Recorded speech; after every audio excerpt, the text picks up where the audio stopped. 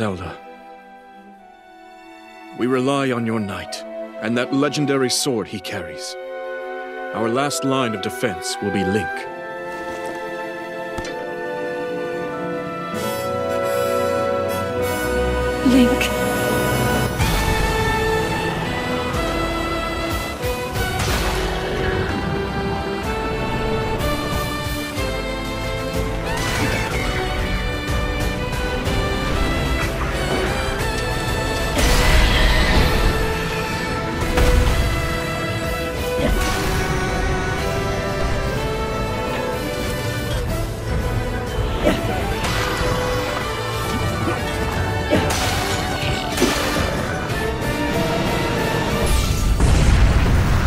Hi everyone, this is Yang.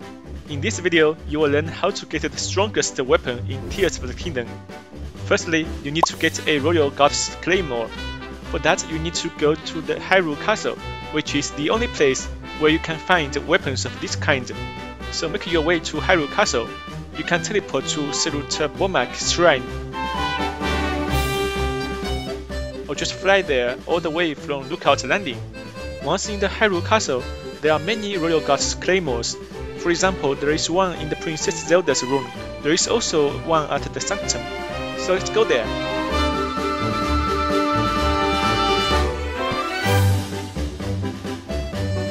Go to the third floor and find the Royal Guard's claymore behind the boulders.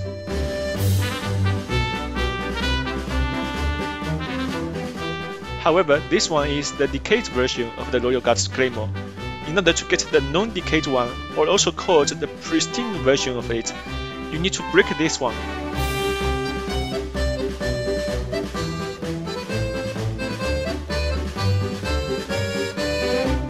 And then the pristine version of this weapon will spawn in the hands of the ghost soldiers in the depths.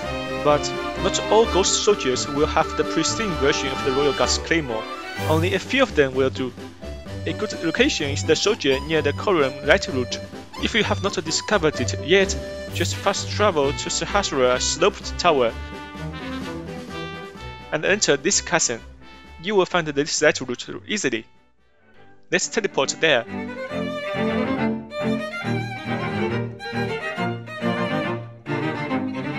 Go to this spot on the map.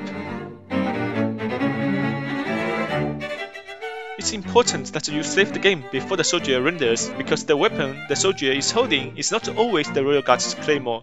So it's possible that another weapon is rendered, and you would need to load the save and check again. Actually, there are 5 possible weapons, so there is only a 20% chance you get this weapon.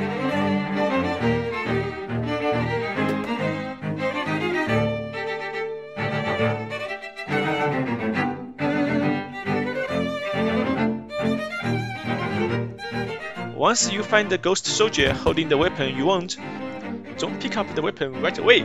Instead, do this. Save in front of him. Then pick it up.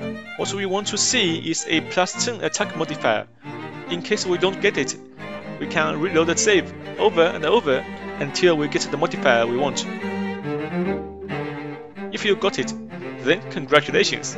You can go to the next step if after a few tries you are only getting white modifiers and not the yellow ones, then it means that you are still early in the game. You need to pick it up and upgrade it using Octoroks.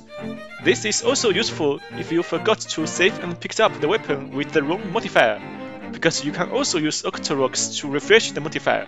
Amazing, right? Go to Memorstic Shrine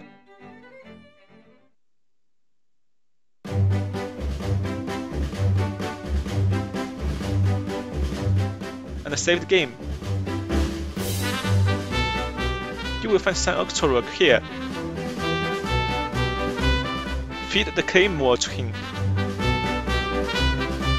When he spits it out, you can see that the modifier has been changed and if you are lucky enough, you will get the 10 attack modifier. If it's not the modifier we're looking for, just keep loading the save until you get it. There are more Octoroks around the area so you can actually upgrade a weapon that had no modifier to a weapon with plus 10 attack golden modifier by doing this process twice using two different Octoroks. now you have an attack damage of 49, which is 39 plus 10. At this moment, you need to find an armor set that boosts this damage even more.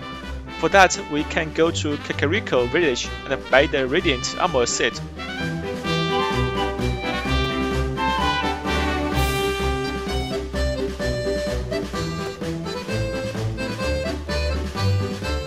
This is quite expensive, but you can do a set quest to make it cheaper, or you can just duplicate the diamonds and sell them using my item duplication videos. Links are in the description. An alternative armor set is the Evil Spirit armor set. This has the same effect and can be obtained from the labyrinths. Plus, it gives you stealth effect which makes sneak strikes much easier to do. Once you have the three Radiant armor parts, uh. upgrade the armor set to 2 stars by going to a fairy fountain. If you chose the evil spirit armor set, you don't have to upgrade it. Next, you should add more damage to your weapon by cooking food that give you bonus damage. For that, take out 4 mighty bananas and 1 dragon horn, so that the buff can last 30 minutes.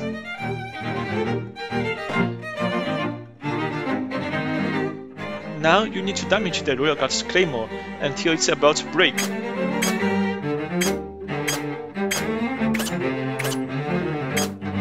When this message shows up, it means you will get a 2 times damage multiplier because this type of weapons doubles their damage when they have low durability. If you do 2 more hits to a weapon, it will gain another hidden extra 2 times multiplier because the weapon has only 1 durability left and will break on the next hit, which will cause double damage. Lastly, you need to find a Gibdo bone, which is the fused material that adds the most damage to a weapon. Gibdos can be found at Gerudo Desert and Gerudo Desert depths. Here, you should know that fusing materials to a weapon gives extra durability, which removes the weapon's previous double damage state, but the potential durability addition is limited and can be consumed, so you must fuse something else to the Royal Guard's Claymore, for example, a silver Lynel horn, and then bring the durability to 1 again. When this message appears, hit the ground twice. And now it's the time to fuse the bone to the Royal Guard's Claymore. At this moment, we will have an attack damage of 356. Next, take into account the effect of the Radiant Armor set or the Evil Spirit Armor set. This time we'll get another 1.8 multiplier from bone proficiency. Next, eat the food cooked with mighty bananas. Then we will get another 1.5 multiplier from the food buff. Now we have an attack damage of 961. Also, if you hit the weak spot of the enemy, such as Gleeok's head or Hinox's eye, you can do double damage, which will be 1921. And if you do Sneak Strike, you can deal up to 7700 damage.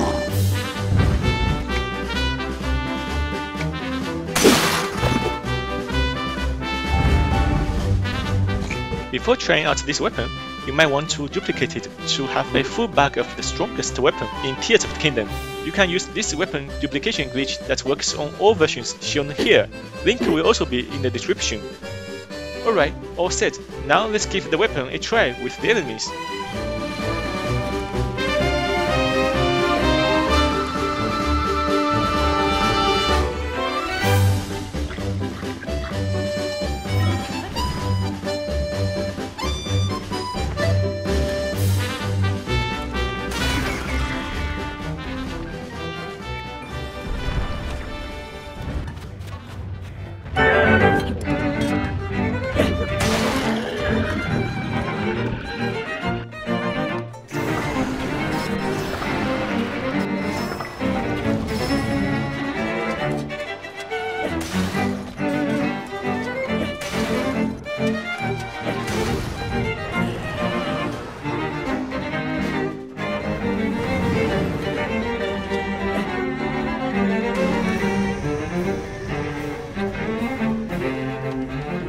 Instead of fusing a Gibdo bone, you can also choose to fuse a Molduga jaw to it. This gives less damage, but it will allow you to use it while you are on a Lynel's back.